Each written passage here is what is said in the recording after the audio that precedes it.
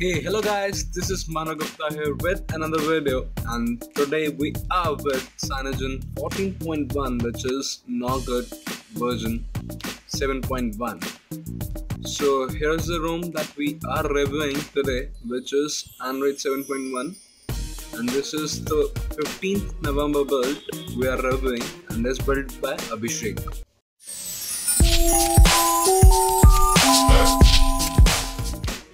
So the first question everyone asked is about the battery backup. Now let's quickly go to the battery section and see.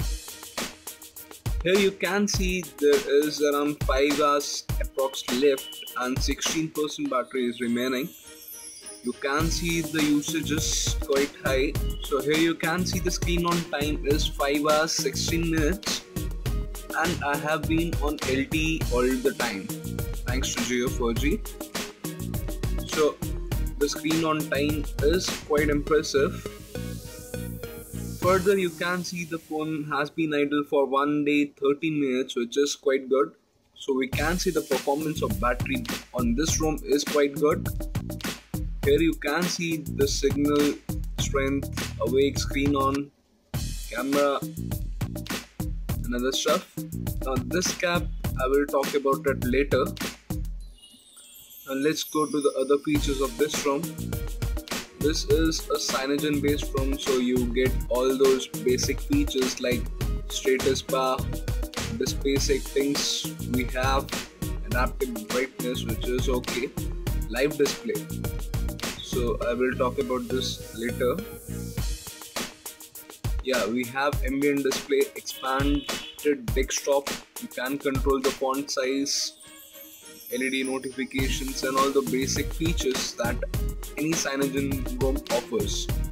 Further going to the storage settings, you can see the memory consumption on an average is 1.7 GBs in which we have played games like Asphalt, Xtreme, NFS, Mini Militia and other various stuff. So we have been browsing continuously Facebook which is again a heavy app so we can say overall performance of this ROM is great and is working very smooth. Now let's go to the Antutu benchmarking score which we performed yesterday after installing this ROM. So we can see the score is 74414 which is quite good without use of any custom kernel. I have been on stock kernel all the time battery backup on stock kernel is also good. So you can see the overall performance of the ROM is smooth.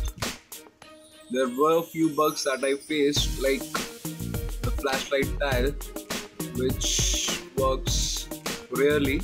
These bugs are already reported to the developer and we hope soon we will get an update fixing all these bugs. Further can see the Jio calling is working.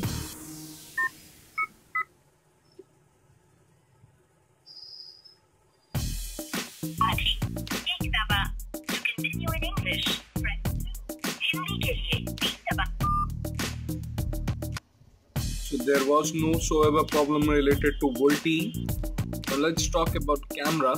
Here we are using the stock camera app only. So you can see camera is working. The flash is properly synced further coming to the rear camera you got this error. I got this for the first time. Here you can see the front camera is also working. But there was this error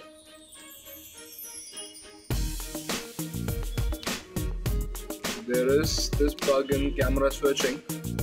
Further coming to the video recording,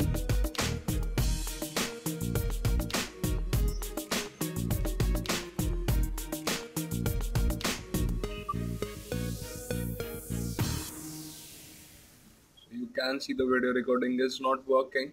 So this was all about camera. You can see the camera is quite buggy. But for normal usage it is okay. Further, there are few third-party apps like Z Camera, which helps in improving the camera quality and those that force close bug is solved using that.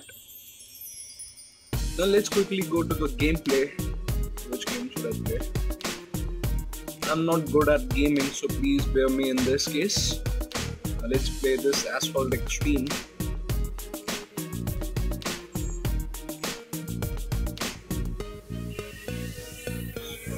Here we go.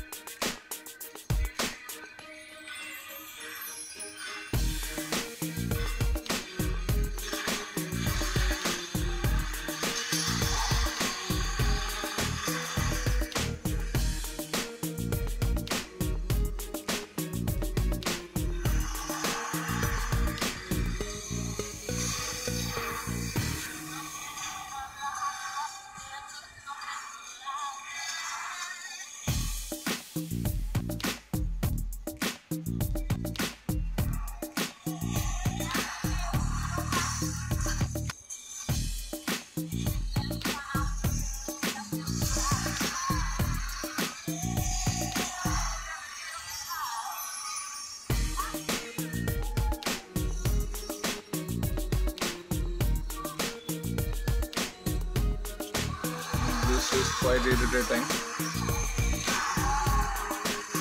Whoops.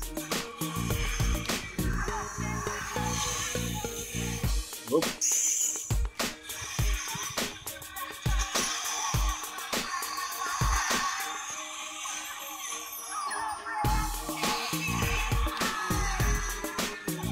So you can make it out that I'm not at all good at gaming. Especially a new game. This game I'm playing for the first time. This. So the overall gaming performance was good. We can say that there were no lags faced on any of the games, heavy games like Asphalt and No Limits. So we can say the gaming performance was also very good. Not very good but smooth. Now coming to the bugs section. First bug that we faced is this torchlight bug so this doesn't work all the time. For making it work you just have to do what is you have to remove this tile once and then insert it again. This made it work earlier. Let's see. No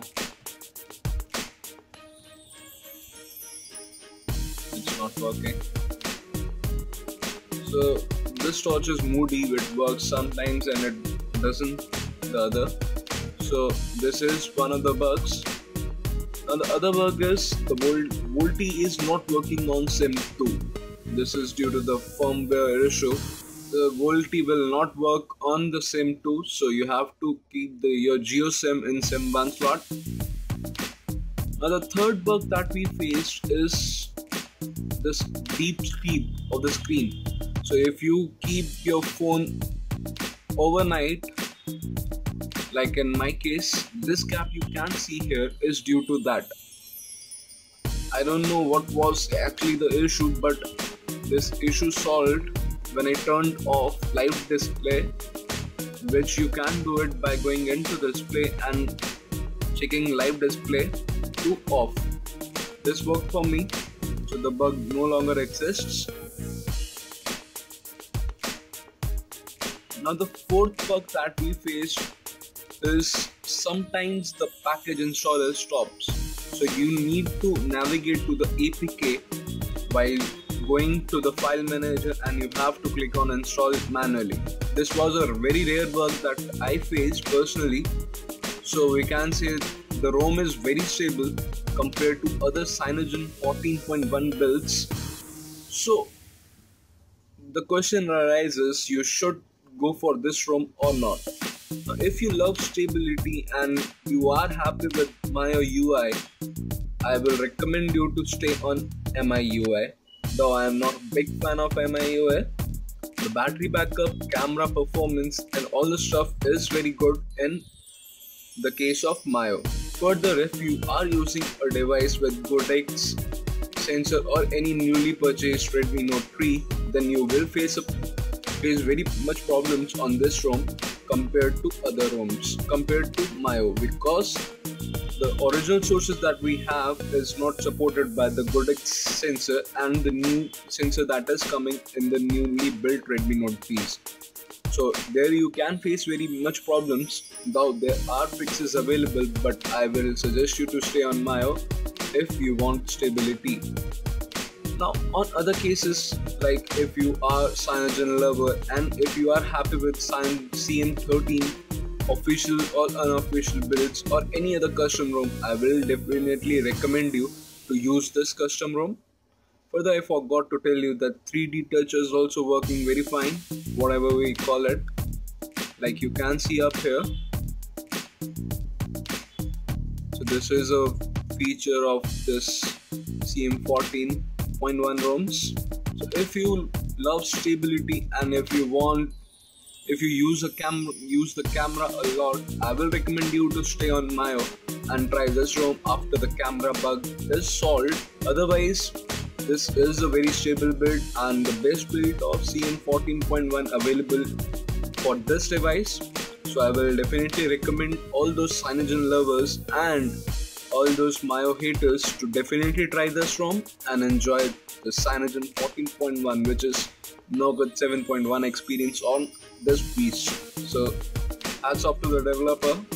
The links will be in the section below and the flashing instructions video is up already up and the link will be in the description below so you can check the flashing instructions if you want thank you for watching this video i hope you liked it and do drop your suggestions in the comment box below. Thank you.